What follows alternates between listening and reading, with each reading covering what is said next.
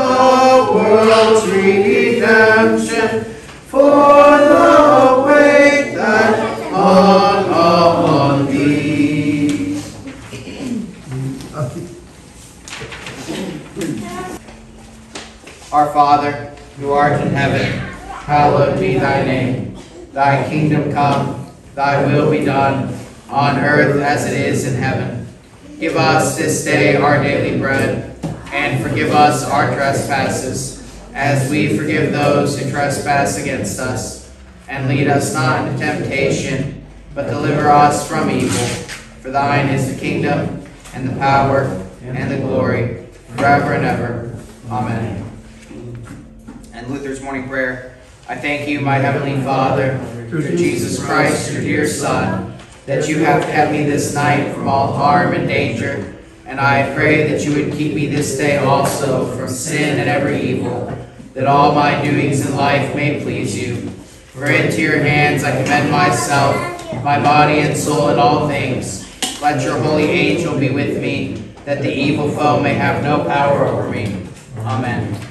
The Almighty and merciful Lord, the Father, the Son, and the Holy Spirit bless us and keep us. We have just kind of two more key passages, uh, chapters that I want to look at here. Uh, the first being the story of the lion's den in chapter uh, chapter six, right? Um, and and basically this takes up the whole chapter. It's six uh, one through twenty eight, and then we're also just going to look at chapter seven um, and. Uh, the Dan, remember in chapter two we had Daniel's or sorry Nebuchadnezzar's dream. Um, we have chapter seven, which is Daniel's dream, which parallels. This is the lion's den, and this is Daniel's dream. Daniel's dream parallels Nebuchadnezzar's dream. In chapter seven, we're not going to look at the rest of the the book um, from chapter eight on in detail simply because we do not have time and it is one of the more complex uh, apocalyptic prophetic sections of the Bible. Um, not that I am scared of it, but for being a Bible overview class, it's just too much, right? But um, I do encourage you to read it and to use what we've talked about so far in the book of Daniel to uh, help you understand it. I will also go ahead and say now that, um, and I happen to grab this Bible because my other Bible is um, at home. I left it at home by accident, but um, I will also say this is one place where I would recommend the Lutheran Study Bible or a a Lutheran Study Bible. There are a couple versions out there I can tell you about. Um, the Lutheran Study Bible that I normally use is the one that um, is from CPH that's being still being published right now. Uh, I think it started being published in the late 2000s sometime. I know I got the older version when I was in confirmation, so it had to be after that that this came out. But um, anyway, the footnotes in this are pretty good, and especially um, it was actually my Hebrew professor, Dr. Andrew Steinmann uh, from Concordia, Chicago, who wrote the CPH commentary on Daniel, the most recent one, and he did the footnotes for this section, I believe, and also has some helpful charts and diagrams in the book of Daniel in this this this Bible the Lutheran Study Bible. It's maroon. This is the big version. You can get ones that are a little more compact, but anyway, the footnotes and charts in here are very helpful in understanding something like Daniel, which is apocalyptic and very confusing, frankly. So.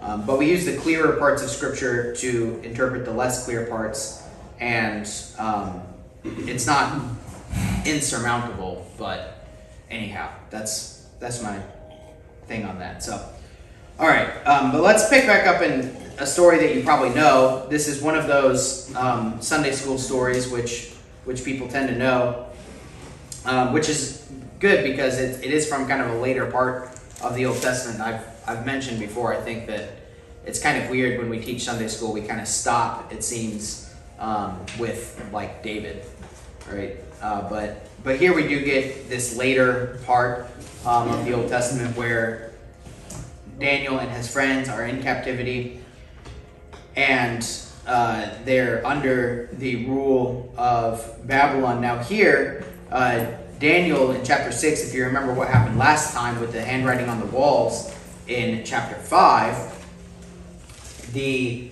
uh, Darius the Mede has taken over for Nebuchadnezzar the Babylonian. Right? So now, uh, with the fiery furnace, we had Nebuchadnezzar, right? Shadrach, Meshach, and Abednego with Nebuchadnezzar. Daniel and the Lions, then, very similar story in many ways, but now under Darius the Mede, right? And that's following that dream that Nebuchadnezzar had, right? That the Medes and the Persians would take over uh, followed by eventually the Romans, and then there would be a, a major crumbling. Now, um, I'm just going to start reading a little bit here, and maybe just we'll point out a few things. It pleased Darius to set over the kingdom 120 satraps to be throughout the whole kingdom, and over them three presidents, of whom Daniel was one. so one difference here between the the chapter three and chapter uh, six right? And you, you can't see here, by the way, the Bible does this a lot.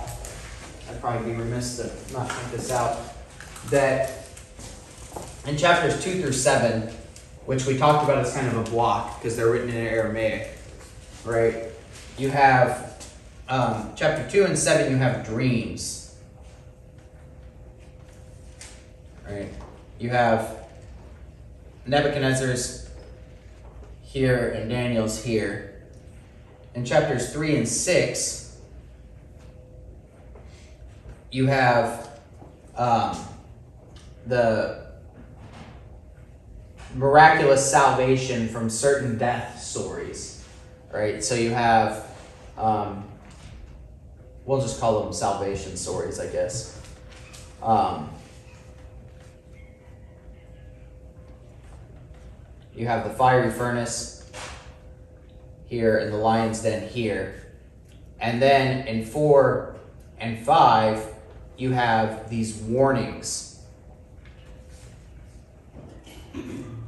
First to Nebuchadnezzar, and then to Belteshazzar. Uh, Bel- Belteshazzar. No. Yeah, Belteshazzar. Belteshazzar. Yeah. Right.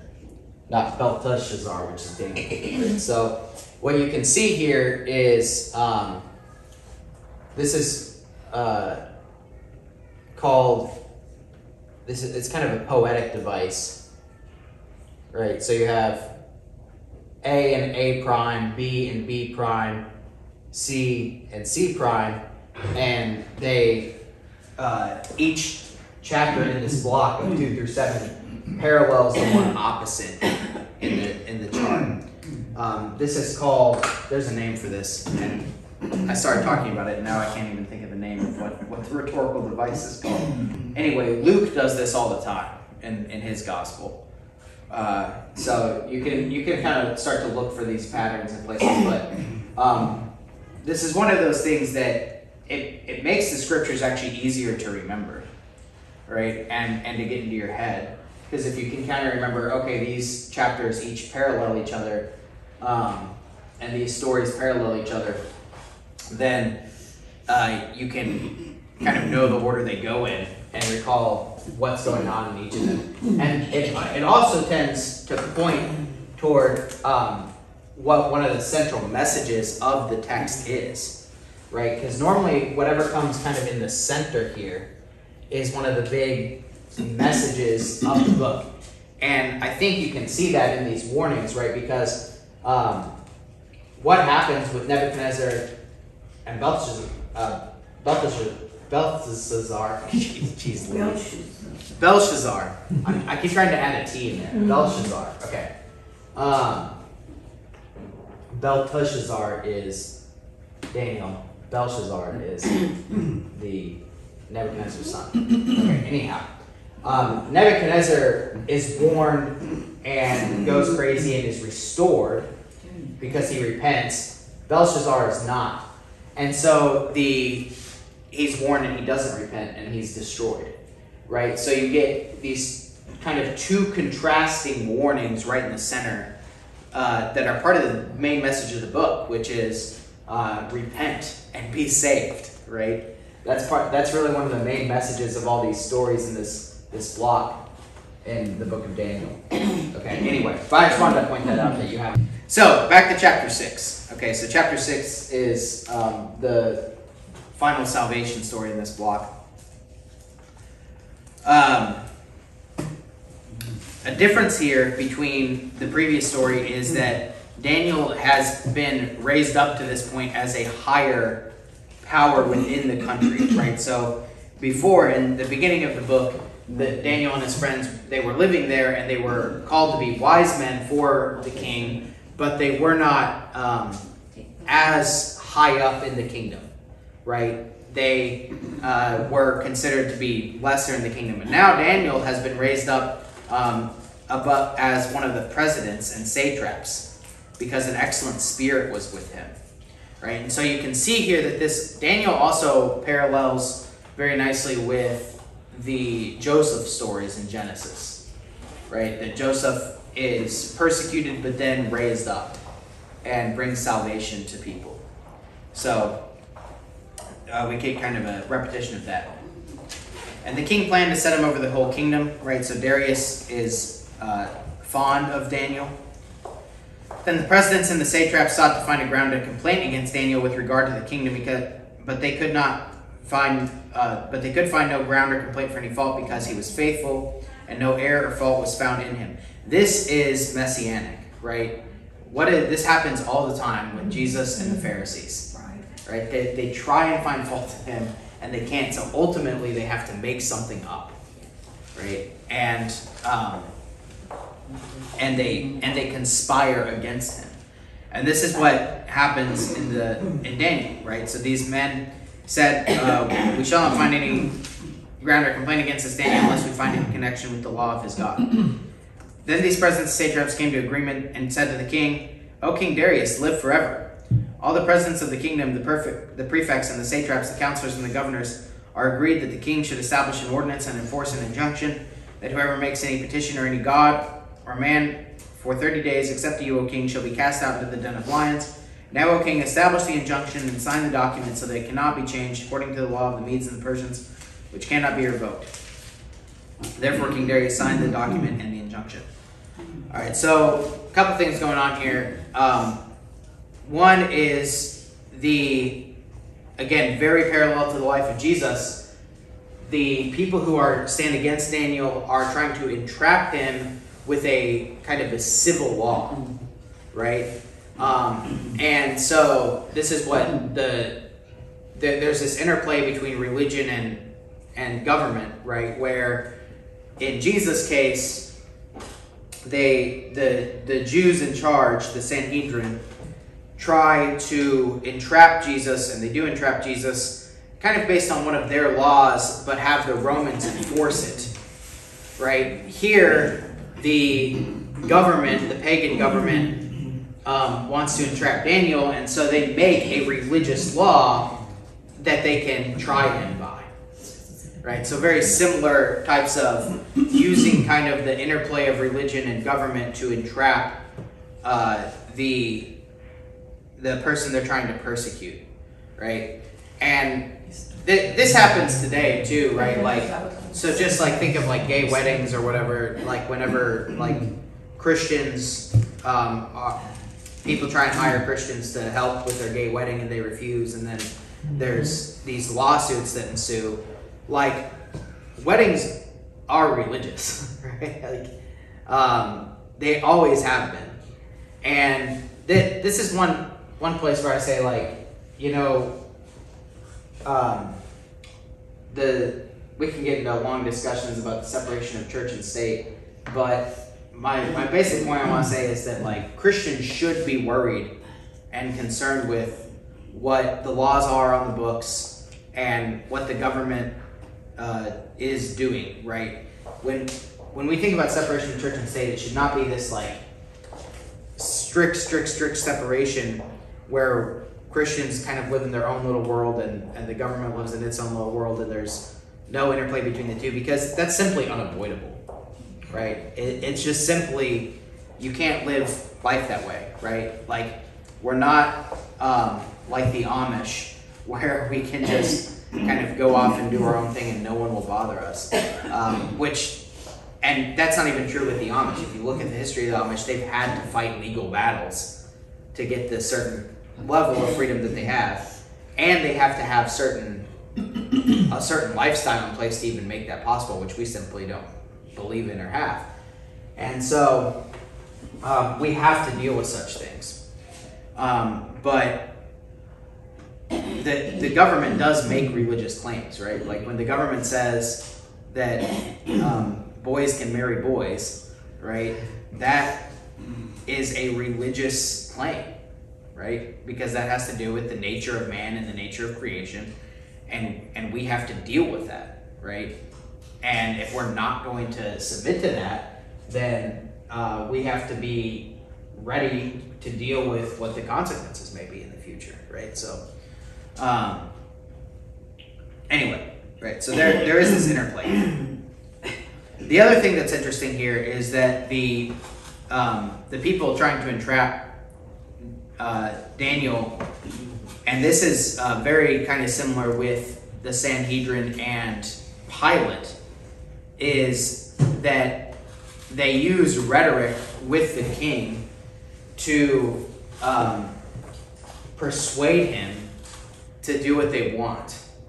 And um, like in the in the Sanhedrin's case with Pilate, they appeal to his de- dedication to Caesar, right? And they're like, "Well, you're you're a Roman governor, right? Like, you're you got to be a friend of Caesar's, and if you want to be a friend of Caesar's, you got to do this thing for us." In the same way, here, the presidents and the satraps and the counselors tell the king, um, and they they're a little bit more sly here. They're a little less like um, it's a little less pressure and a little more. They're trying to woo him, right? They're like um, almost they're they're they're complimenting him.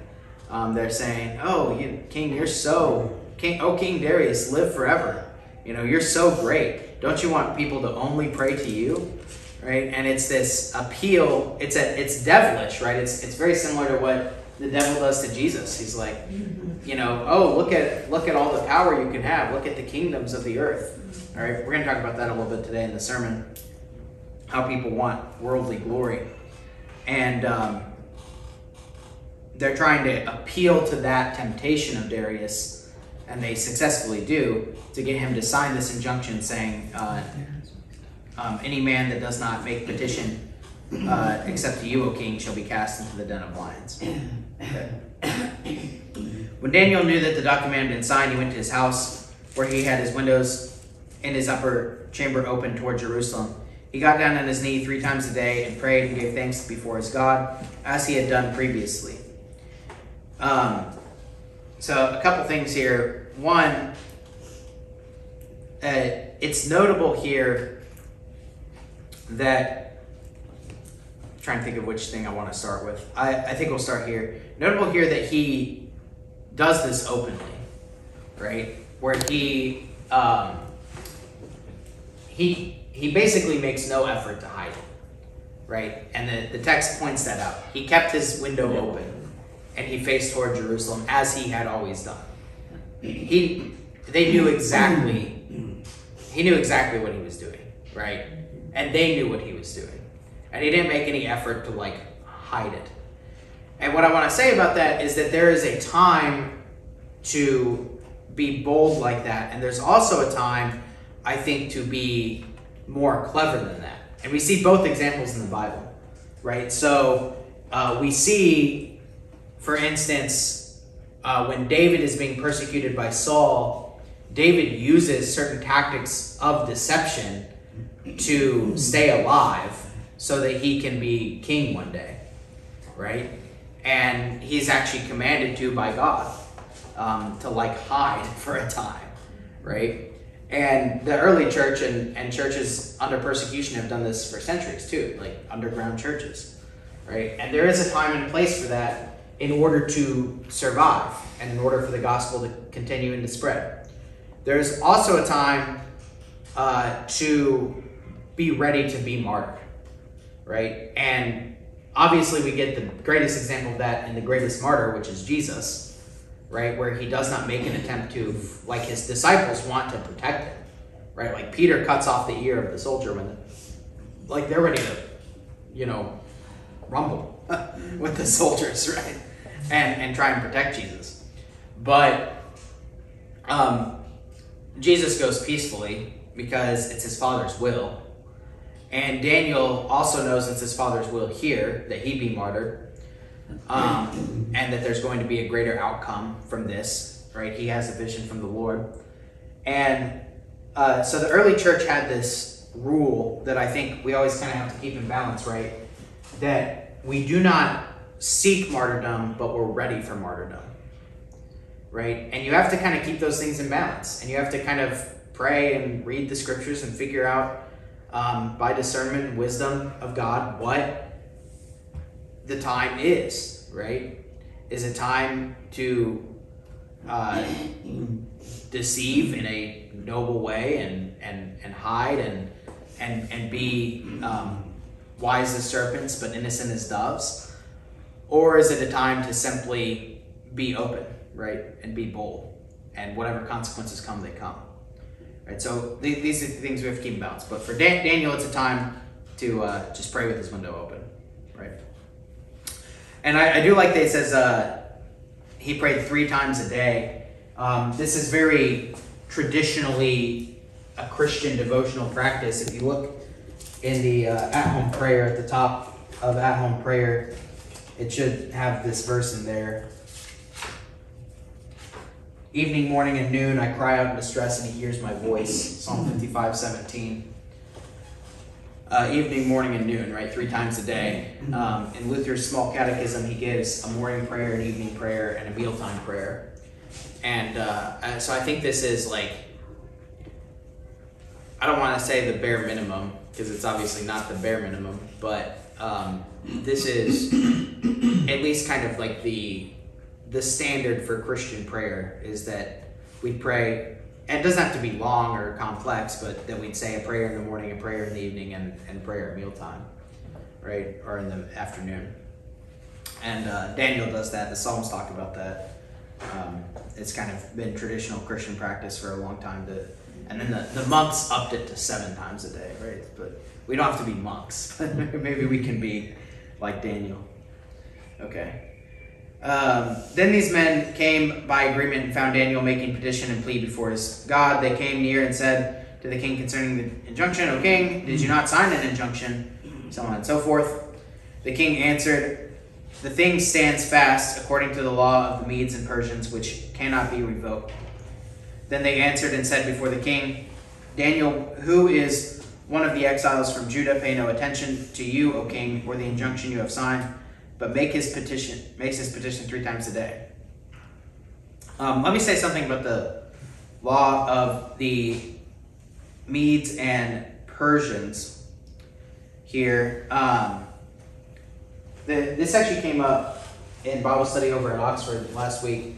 The where we were in the Gospel of Mark, and we had the story about Herod um, beheading John the Baptist.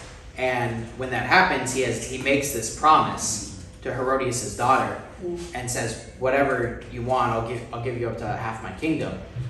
And um, she asks for that. Her mother tells her to ask for the head of John the Baptist, and then he he ha- it says that he has to do it because he said so.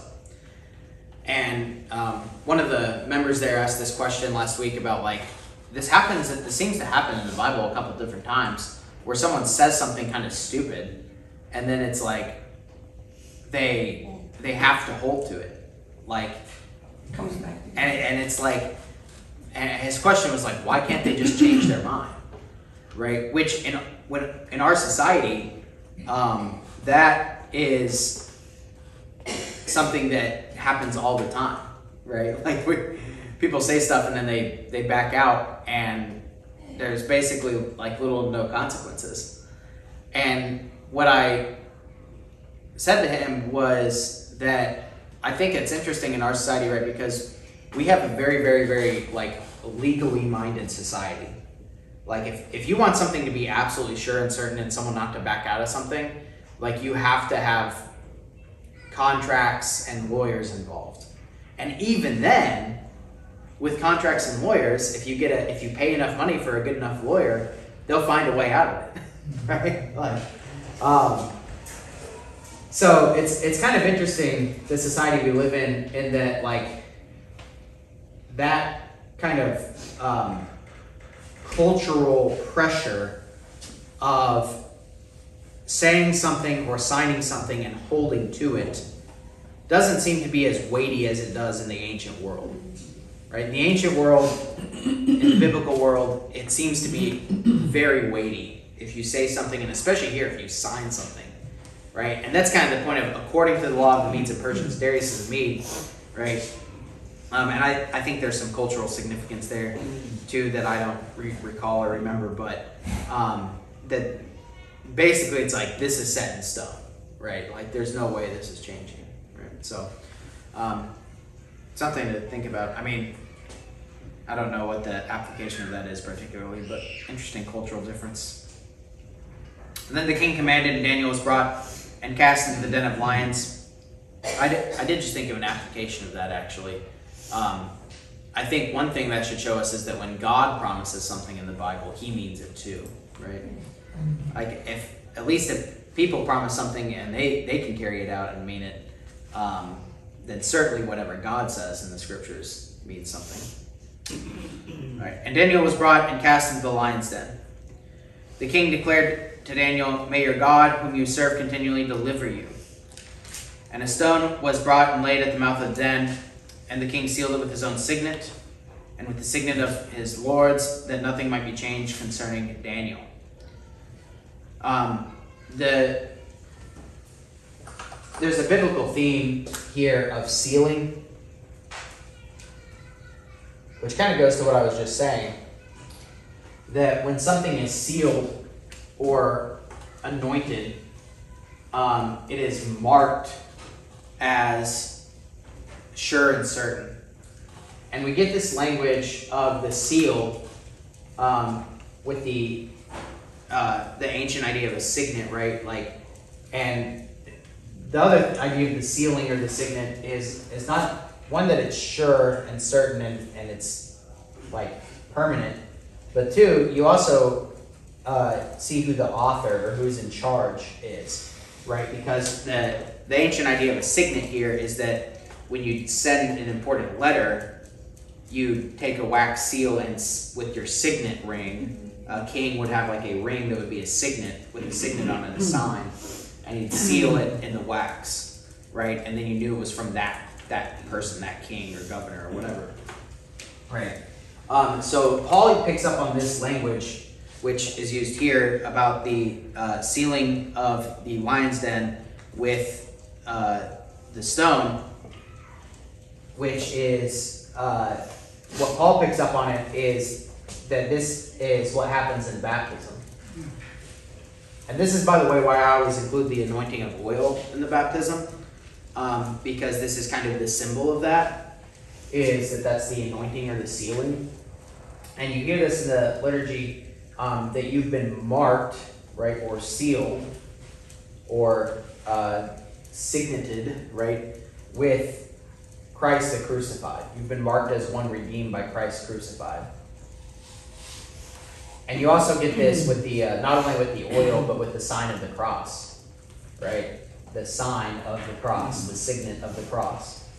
That whenever um, in the baptismal liturgy, right, it's receive the sign of the cross both upon your forehead and upon your heart to mark you as one redeemed by Christ the crucified. That's like God stamping His signet ring on the person, right? So pretty cool uh, symbolism there. Um, but that's what's going on with with Darius and the tomb here. The other thing, uh, I just called it a tomb, kind of gave it away. The other thing, at the den, um, that is definitely being foreshadowed here is uh, Jesus' tomb and resurrection, right? Because I mean, how do you how do you not see this? A stone was brought and laid at the mouth of the den, and the king sealed it, right? Um, that this is a sure and certain death, right, for Daniel. And this is this is his tomb, right? He's going to death. And and the stones roll over top. There's no way he can push it out of the way. Right? But what what of course is gonna happen, same thing that happened with Jesus, right? He's not gonna die. Right? He's gonna be raised. And the tomb the stone's gonna be rolled away. And uh, it's it's all very much resurrection language here. Then at the break of day, the king rose. Oh, um, this part. Uh, the king went to his palace and spent the night fasting. No diversions were brought to him, and sleep fled from him. Okay, so the king, King Darius here, uh, he recognizes it's very similar to Nebuchadnezzar, right? Where Nebuchadnezzar has these moments where he seems somewhat faithful, right? And he at least recognizes the power of Daniel and the authority of Daniel. Now, maybe he isn't a Christian, right? But he recognizes something there. And he can't, he, he feels terrible about what he's done, right? Which is good. Um, and this is what we call a conscience, right? That a good, a good conscience will, will bother someone like this whenever they've sinned. They can't sleep, they they can't eat, right? Um, that's the sign of a, of a conscience at work right? Or a sign of a conscience at work. And you can see that, we don't need to go into this too much, but you can see there the connection of body and soul too, right? That something wrong in his soul affects his bodily life. Then at the break of the day, the king arose and went with haste to the den of lions. As he came near to the den where Daniel was, he cried out in a tone of anguish. The king declared, Daniel, O Daniel, servant of the living God, has your God, whom you serve continually, been able to deliver you from the den of the lions. Then Daniel said to the king, O king, live forever. My God sent his angel and shut the lions' mouths, and they have not harmed me, because I was found blameless before him, and also before you, O king, and I have done no harm. And the king was exceedingly glad and commanded that Daniel be taken up out of the den. So Daniel was taken up out of the den, and no kind of harm was found on him, because he had trusted in God. And the king commanded those men who had maliciously accused Daniel were brought and cast into the den of lions, they, their children, their wives. And before they reached the bottom of the den, the lions overpowered them and broke all their bones in pieces. Then King Darius wrote to all the peoples, nations, and languages that dwell in all the earth, peace be multiplied to you, and I make a decree that in all my royal dominion people are to tremble and fear before the God of Daniel. He is the living God, enduring forever. His kingdom shall never be destroyed, and his dominion shall be to the end. He delivers and rescues, he works signs and wonders in heaven and on earth. He who has served Daniel from the power of the lions. So this Daniel prospered during the reign of Darius and during the uh, reign of Cyrus the Persian. Okay, so this is where we get a lot more parallels to the fiery furnace story. Um, so first of all, it's an angel that comes and shuts the, the mouth of the lions. And um, this is, I mean, kind of up to interpretation for sure. But one could make the argument that based on the story of the fiery furnace being, in my opinion, pretty clearly the pre incarnate Christ, that when Daniel says, yeah, God sent uh, his angel to come and shut the lion's mouth, that we have another instance of the pre incarnate Christ coming to save Daniel just like he did the friends. Um, now, it could just be an angel. Maybe it's not the pre incarnate Christ, but. Um, just just for your food for thought. Okay. Um, also, here we have uh, a parallel in that um, it's a little different than the fire furnace. In the fire furnace, Nebuchadnezzar was angry and he ordered the men to heat the furnace seven times hotter, and because of that, some of the servants of the the king were destroyed in the fire. Here, Darius is much more explicit in that after the fact, he sees the power of God. And then, in rage toward the people who trapped him into this uh, situation, he orders them to be thrown into the lion's den uh, with their wives and children, right? Which you could take that two ways. Um, I think what one way would be to say that was wrong and he shouldn't have done that, right? Um, he shouldn't have punished those wives and children that way. Um, I would. I don't think it's wrong to say that.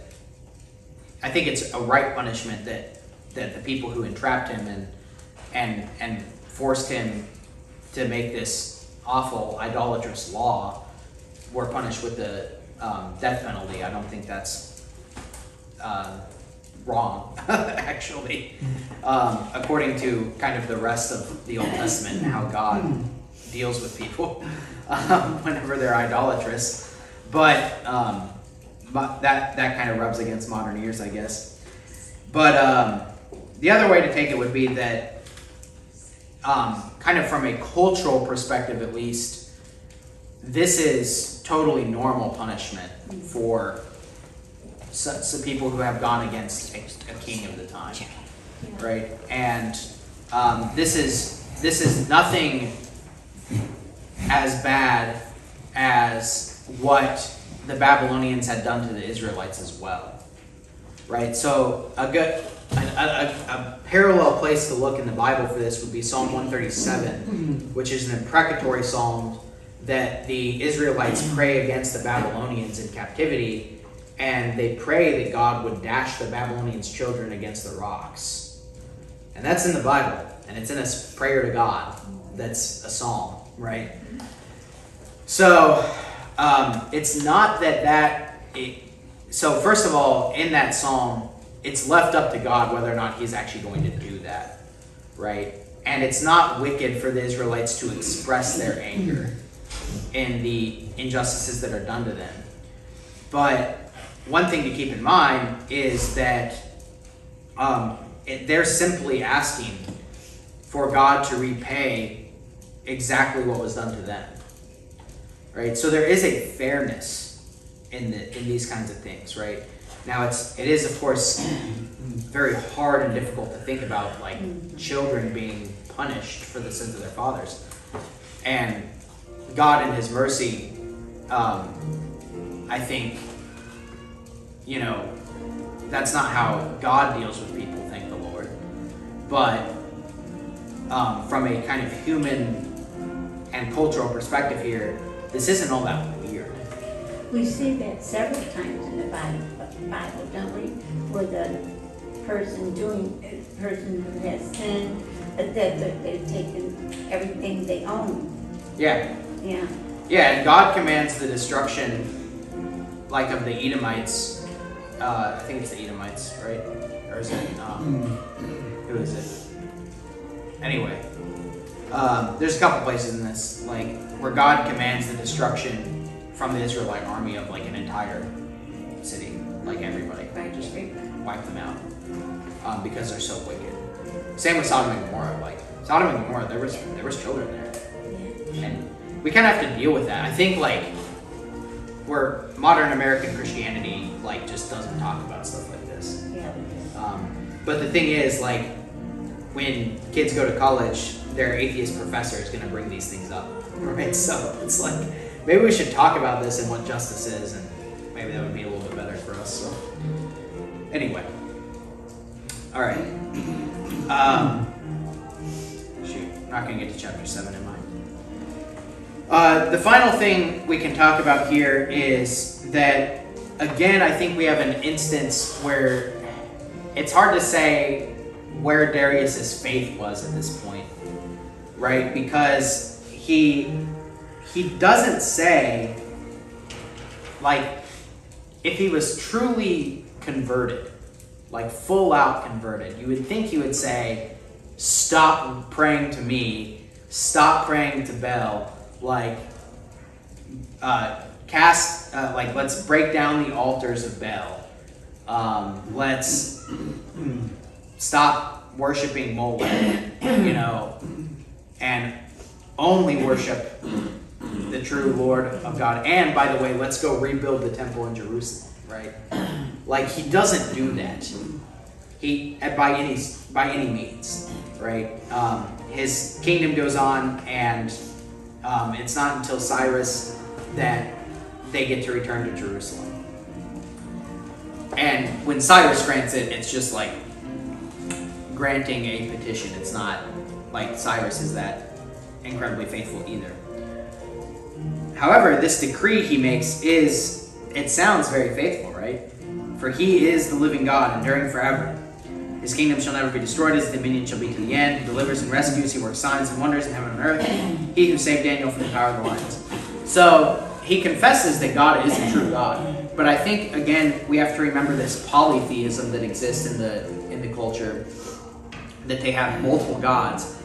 And I think basically what's happening here is that Darius is allowing Daniel's God to be one of the gods that's worshipped, right? And he says, "Oh yeah, he's a really powerful God too, you know, like he, um, and and maybe he'll be the, the a God who lasts forever, but um, it's this kind of halfway repentance, right? And I, it, it's worth thinking about." Um, I think I mentioned this last week too, with or a couple weeks ago with Nebuchadnezzar, is that you can kind of see that in society today, where people will recognize like, oh, Christianity's not bad, but like, it's like the I'm spiritual but not religious, you know, like yeah, you know, Christianity is is fine, like God is a God, but you know, there's also Muslims are good people too, that ty- that type of thing, um, and we always have to remind ourselves that, and I think it can be difficult because, especially in a more secular and secular society, we, we probably have friends that are that way or family members. And we have to remember Jesus is the only way to salvation. Like, there's no other name among men by which man may be saved. And uh, ultimately, we don't know what exactly happened to Darius. I, I doubt he died a Christian but um, it doesn't matter if someone like this would be parallel in some ways to someone who like doesn't come to church and isn't really a faithful Christian, but kind of like respects Christianity, so they like give a big donation to a church or something like that, and in their somewhere in their thinking, that's like good enough, right? It's kind of a works righteousness type of thing, right? Um, where it's like, oh, you know, I'm a good person, I'm a good guy, I respect God, I just don't really want to like practice Christianity, right? And um, at the end of the day, that's not good enough. Like faith without works is dead, and true faith uh, results in uh, a life that is fully given to Christ, and that that is what it is. So, anyway, we'll end there. Any final questions or comments on on uh, Darius and the Lions then? We'll talk about uh, Daniel's vision next week, and maybe we'll start the next uh, book as well. I don't know. I can't remember what we're doing next. All right, let's pray. Heavenly Father, we thank you for all the good gifts that you have given us, and especially for sending Christ to be our King over heaven and earth. Uh, we pray that we might worship Him above all other things. Help us to love and trust in you above all other things. Help us to not fall into idolatry, but help us to be bold in our faith in Christ. For Christ crucified is the power to save for all people. We pray that you would bless our worship today together and open the minds and hearts of all here. And we thank you for all the wonderful gifts that you continue to give. We pray this through your Son, Jesus Christ, our Lord, who lives and reigns with you in the Holy Spirit, one God now and forever.